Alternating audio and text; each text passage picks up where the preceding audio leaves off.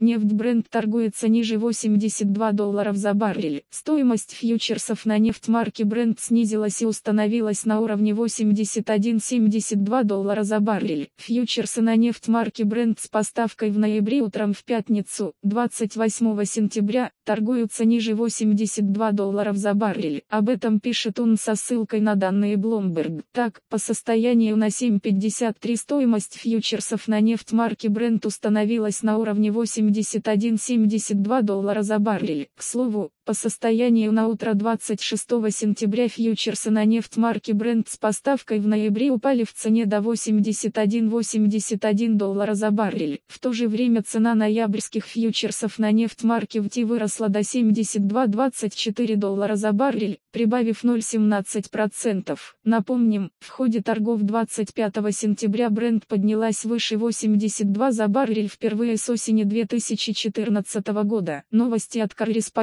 в Telegram. Подписывайтесь на наш канал https По материалам сайта Newsgro.com.